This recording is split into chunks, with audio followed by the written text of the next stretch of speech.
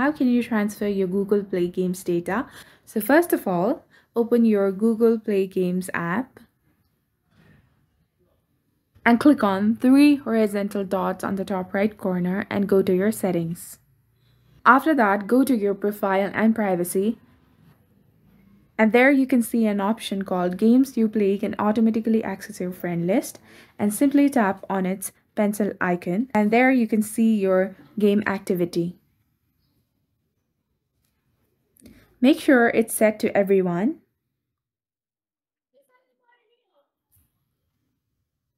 And also enable the option that says let others find your profile using your email address.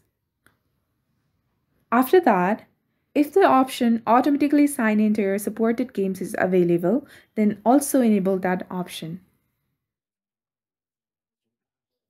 After following these steps, you can easily transfer your Google Play Games data to your game center. So if you found this video helpful, do not forget to like, comment, share, and subscribe to the channel for more amazing updates. Thank you. See you in the next video.